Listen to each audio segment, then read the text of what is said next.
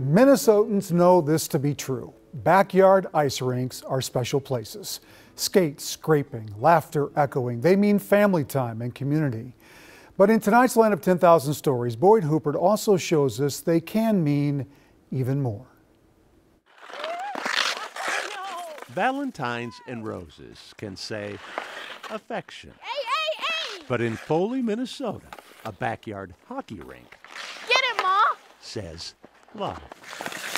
I've tied seven pair of skates today. The rink where Beth Harrison, My hands are gonna fall off. daughter Isla, and son Beckham can be found I'm all good. at a time in their lives I'm they have never felt more lost.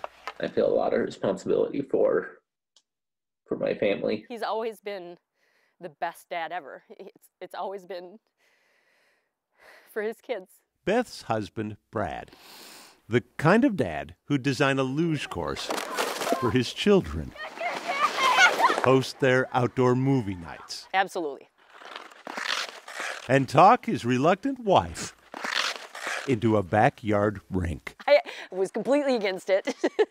I didn't want the upkeep. I didn't want to deal with it. So I said, fine, you know, but I'm hands off. Brad, on the other hand, was all in. This was his accomplishment. It was a way for him to spend tons of time with the kids. The high school hockey player turned hockey coach to his kids, built both a rink and the life of which he dreamed, till everything came apart. He was diagnosed January 21st of 2020.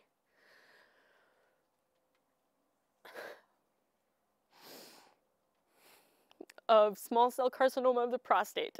Beth had wrongly thought she'd prepaid her family's cancer dues after her own battle with stage 3 breast cancer three years earlier, a battle her husband couldn't win. Beth and Brad spent all of last summer at a lakeside campsite making memories with their children before sharing with them what fall would bring. We just held them and tried to answer their questions.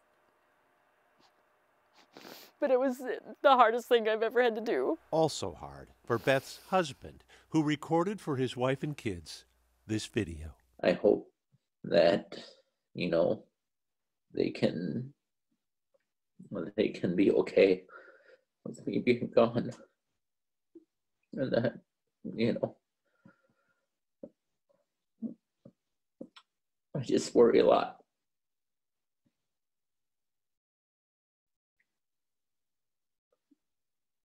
That It's going to be hard. Brad's hockey friends asked if there was anything they could do. You want to do something, you don't know what to do. The only thing that I couldn't do myself was this rink. All Beth needed to say We're a tight knit group, us hockey families. for this tight knit group to show up November 1st, study Brad's hand drawn blueprints, and assemble his rink. Twelve days before he died, barely able to get to his bedroom window, Brad looked out and saw love. So this time of year was one of Dad's favorites, obviously. Yeah. Now, a season later, And he loved to skate with you guys. his wife and kids are bringing Brad back to his place.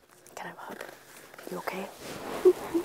it was a way to keep Brad with the kids for a little bit longer. Brad's rink, now lovingly tended by the half of his marriage that once hadn't wanted it. He would be very proud that I did it. And he, he would know that I did it for the kids. Just like he would have. Three months since Brad's death, No, no! Beth, her kids, and an assortment of friends spend every free minute on the ice. Confident if they are here, Tonight was so fun. It was.